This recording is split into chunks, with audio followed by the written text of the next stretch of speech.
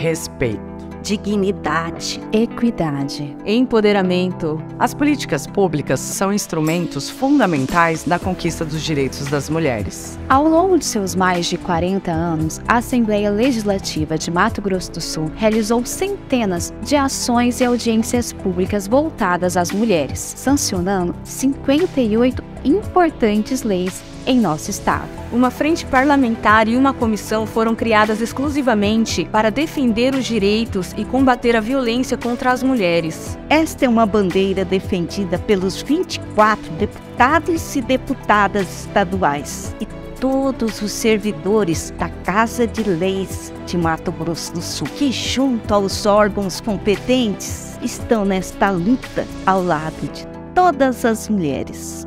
Assembleia Legislativa. A voz das mulheres sul-mato-grossenses.